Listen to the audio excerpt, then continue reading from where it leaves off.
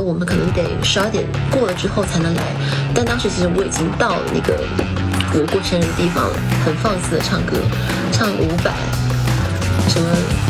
什么什么呢？那岂有罗，就是类似很猥琐的歌。伍佰唱完了，又唱一些什么张惠妹我根本唱不上去的歌，唱的非常难听，还唱今天你要嫁给我呀，就之类的丢人曲目。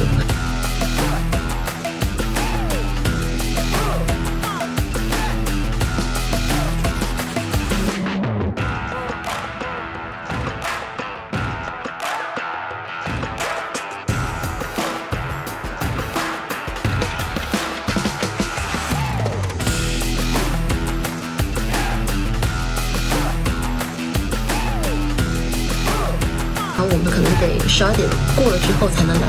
但当时其实我已经到了那个我过生日的地方，很放肆的唱歌，唱五百，什么什么什么呢？那岂有罗，就类似很猥琐的歌。五百唱完了，又唱一些